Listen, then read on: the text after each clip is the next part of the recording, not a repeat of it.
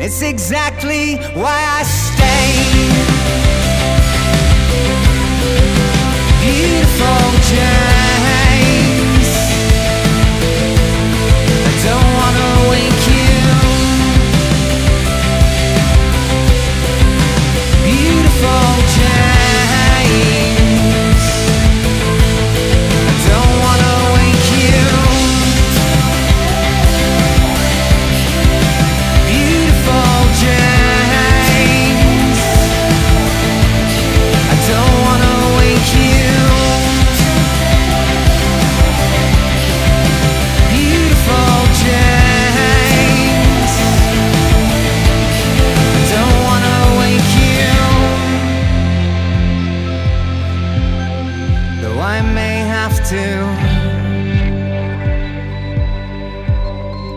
I may have to.